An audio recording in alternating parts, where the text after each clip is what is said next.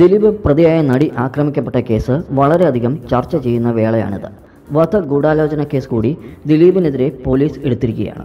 സംവിധായകൻ ബാലചന്ദ്രകുമാറിന്റെ വെളിപ്പെടുത്തലിനെ തുടർന്ന് നടി ആക്രമിക്കപ്പെട്ട കേസിൽ തുടരന്വേഷണം നടക്കുകയും ചെയ്യുന്നു. ദിലീപിനെയും കുടുംബത്തെയും കൊടുക്കാനുള്ള തന്ത്രമാണ് പോലീസ് ചെയ്യുന്നതെന്ന് ഒരു കൂട്ടർ വാദിക്കുന്നു. മറുഭാഗം ദിലീപിനെതിരെയും പ്രതികരിക്കുന്നു. കോടതി വിധി വന്ന ശേഷം പ്രതികരിക്കാമെന്ന് അഭിപ്രായം പറയുന്നവരുണ്ട്. ഇതിനിടെയാണ് നടി ഗായത്രി സുരേഷിന്റെ പ്രതികരണം. നടി ഗായത്രി സുരേഷ് റിപ്പോർട്ടർ ടി വിയുമായുള്ള അഭിമുഖത്തിലാണ് പ്രതികരണം അറിയിച്ചത്. കേസിൽ അതിജീവിതയ്ക്കൊപ്പമാണ് ഞാൻ. ഒരു കേസിലും പരസ്യമായി പ്രതികരിക്കാറില്ല. അതിജീവിതയുമായി ഞാൻ വ്യക്തിപരമായ സന്ദേശം അയക്കാറുണ്ട്. ഡബ്ല്യു സി സി നടത്തുന്നത് മികച്ച പ്രവർത്തനമാണെന്നും ഗായത്രി സുരേഷ് പറയുന്നു. ഞാൻ അമ്മയിലും ഡബ്ല്യു സി സിയിലും അംഗമല്ല.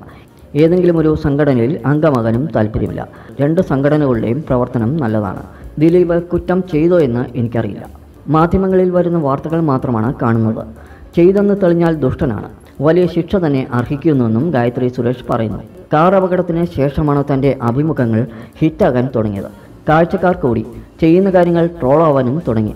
ട്രോളുകൾ നിരോധിക്കണമെന്ന് ആവശ്യപ്പെട്ട് മുഖ്യമന്ത്രിക്ക് കത്തയച്ചിരുന്നു. വീഡിയോയും ചെയ്തിരുന്നു.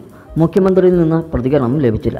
അദ്ദേഹത്തിന് മറ്റ് തിരക്കുകൾ ഒരുപാടുണ്ടാകുമെന്നും തന്റെ കാര്യം നോക്കിയിരിക്കാൻ സമയമുണ്ടാവില്ലെന്നും ഗായത്രി സുരേഷ് പറയുന്നു. കൂടുതൽ ന്യൂസ് അപ്ഡേറ്റ്സിനായി ഈ ചാനൽ സബ്സ്ക്രൈബ് ചെയ്യൂ.